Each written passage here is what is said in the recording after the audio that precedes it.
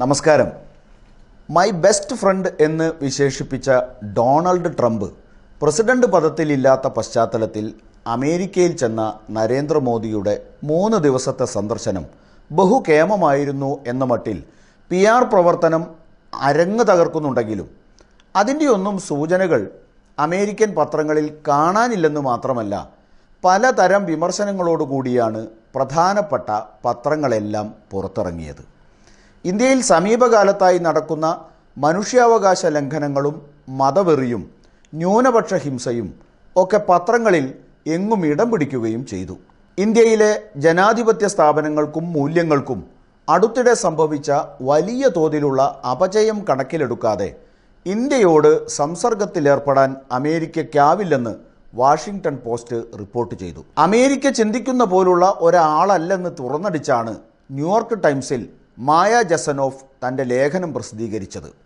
പത്രസ്വാതന്ത്ര്യം തകർക്കുകയും മതപരമായ പീഡനങ്ങൾക്ക് നേരെ കണ്ണടയ്ക്കുകയും ഹിന്ദുത്വ എന്ന മതദേശീയത പ്രാവർത്തികമാക്കുകയും ചെയ്തതാണ് പ്രധാനമന്ത്രി നരേന്ദ്രമോദിയുടെ ചരിത്രം എന്നാണ് ജസ്സനോഫ് തുറന്നടിച്ചത്. ഇതിലും കടുത്ത ഭാഷയിലാണ് ലോസ് ആഞ്ചലസ് ടൈംസ് മോദിയുടെ അമേരിക്കൻ സന്ദർശനത്തെക്കുറിച്ച് എഴുതിയത്. ഇന്ത്യയിൽ നടക്കുന്ന മനുഷ്യാവകാശ ലംഘനങ്ങളുടെ കഥകൾ കാണാതെ അമേരിക്കയ്ക്ക് മുന്നോട്ടു പോകാനാവില്ലെന്ന് ലേഖനം മുന്നറിയിപ്പ് നൽകി. ഇന്ത്യയുമായി അടുത്ത ബന്ധം സ്ഥാപിക്കുന്നതിന് മന്ദത ബാധിച്ച അതിന്റെ സാമ്പത്തിക വളർച്ചയും സാമൂഹ്യ മണ്ഡലത്തിൽ നിലനിൽക്കുന്ന സംഘർഷങ്ങളും തടസ്സമാണെന്ന് വാൾസ്ട്രീറ്റ് ജേണൽ ലേഖനം വ്യക്തമാക്കി. ഇതിനു പുറമെ നരേന്ദ്രമോദിയുടെ അമേരിക്കൻ പര്യടനത്തെ അപലപിച്ചുകൊണ്ട് അദ്ദേഹം പങ്കെടുക്കുന്ന വേദികൾക്ക് പുറത്ത് പലതരം പ്രതിഷേധങ്ങളാണ് അരങ്ങേറിയത്.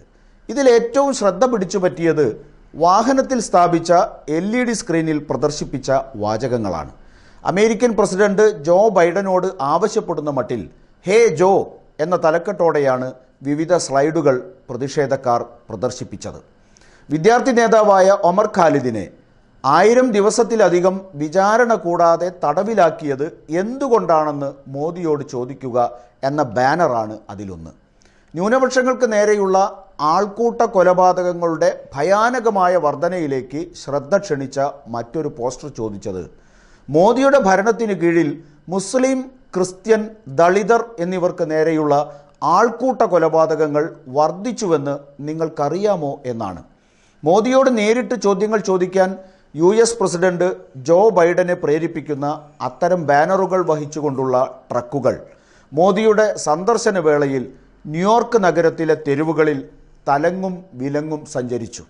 ബൈഡനെ ഹേ ജോ എന്ന് അഭിസംബോധന ചെയ്ത മറ്റൊരു ബാനർ ചോദിച്ചത് ബി ബി സി ഡോക്യുമെന്ററി എന്തുകൊണ്ടാണ് ഇന്ത്യ നിരോധിച്ചത് എന്ന് മോദിയോട് ചോദിക്കണം എന്നാണ്. ട്രക്കുകളിൽ പ്രദർശിപ്പിച്ച മറ്റൊരു പ്രധാന സ്ലൈഡ് രണ്ടായിരത്തി അഞ്ച് മുതൽ രണ്ടായിരത്തി പതിനാല് വരെ നരേന്ദ്രമോദിക്ക് വിസ നൽകാതെ വിലക്കിയതിന്റെ കാരണം ആരാഞ്ഞുകൊണ്ടുള്ളതായിരുന്നു. ഇതിലും കടന്ന് ഇന്ത്യൻ പ്രധാനമന്ത്രിയെ ഇന്ത്യയുടെ ക്രൈം മിനിസ്റ്റർ എന്ന് മുദ്രകുത്തിയ കറുത്ത ബാനറും പ്രത്യക്ഷപ്പെട്ടു. മണിപ്പൂരിൽ നൂറോളം പേർ കൊല്ലപ്പെടുകയും മുന്നൂറിലേറെ പേർക്ക് ഗുരുതരമായി പരിക്കേൽക്കുകയും പതിനായിരങ്ങൾ പലായനം ചെയ്യപ്പെടുകയും ചെയ്ത വംശീയ അക്രമ പരമ്പരകളെ എടുത്തു കാണിക്കുന്ന പോസ്റ്ററും പ്രതിഷേധക്കാർ പ്രദർശിപ്പിച്ചു. യു എസ് കോൺഗ്രസിന്റെ സംയുക്ത യോഗത്തെ അഭിസംബോധന ചെയ്ത് മോദി സംസാരിക്കുന്നതിന് മുന്നോടിയായി യു എസ് സെനറ്റർമാർ ഉൾപ്പെടെ എഴുപതിലധികം പേർ ഒപ്പിട്ട് പ്രസിഡന്റ് ജോ ബൈഡന് ഒരു കത്തു നൽകി. മതപരവും പത്രപരവും രാഷ്ട്രീയവുമായ സ്വാതന്ത്ര്യത്തെ അടിച്ചമർത്തുന്നതിനെക്കുറിച്ച് അമേരിക്ക ആശങ്കയറിയിക്കണമെന്ന ആവശ്യമാണ് കത്തിലൂടെ അമേരിക്കൻ ജനപ്രതിനിധികൾ ഉയർത്തിയത്. Bernie Sanders Elizabeth Warren Tim Kaine ഉൾപ്പെടെ പതിനെട്ട് സെനറ്റർമാരും ജനപ്രതിനിധി സഭയിലെ അൻപത്തിയേഴ് അംഗങ്ങളും കത്തിൽ ഒപ്പുവെച്ചതായി ഹിന്ദുസ്ഥാൻ ടൈംസ് പത്രം റിപ്പോർട്ട് ചെയ്തു. മൂന്ന് ദിവസത്തെ അമേരിക്കൻ സന്ദർശനം പൂർത്തിയാക്കി ഈജിപ്തിലേക്ക് തിരിച്ച പ്രധാനമന്ത്രിയുടെ സന്ദർശനം പലതരത്തിലുള്ള പ്രതിഷേധങ്ങൾ കൊണ്ട് നിറം മങ്ങിയത് നരേന്ദ്രമോദി ഗൗരവത്തിലെടുക്കും എന്ന് പ്രതീക്ഷിക്കാൻ നിർവാഹമില്ല. ഇന്ത്യയിൽ നടക്കുന്ന ജനാധിപത്യ വിരുദ്ധ നടപടികളും ആൾക്കൂട്ട അക്രമങ്ങളും പത്രമാരണ നിലപാടുകളും ന്യൂനപക്ഷ വിരുദ്ധ സമീപനങ്ങളും ലോകം ഗൗരവത്തോടെ കാണുന്നുണ്ടെന്ന തിരിച്ചറിവ് മോദി നേതൃത്വം കൊടുക്കുന്ന വിദ്വേഷ രാഷ്ട്രീയ ശക്തികളുടെ പുനർവിചിന്തനത്തിന് വഴിതെളിക്കും എന്ന് കരുതുന്നതും മൗഢ്യമാകും.